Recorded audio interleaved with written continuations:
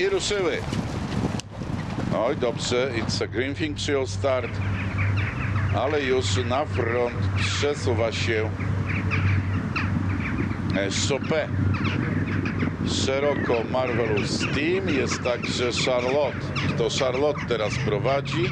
Marvelous Team na miejscu drugim. Bardzo szeroko. Charlotte na drugiej pozycji. Marvelous tam.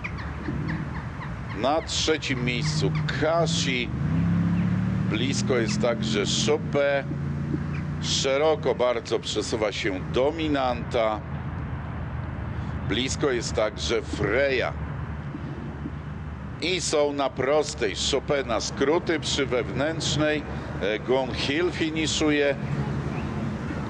Środkiem toru e, Charlotte ruszyła do boju także Freya. Charlotte, Charlotte, Freya, Charlotte, Freya, Charlotte z przewagą. Cała ława koni za nią. Charlotte dzielnie się e, broni.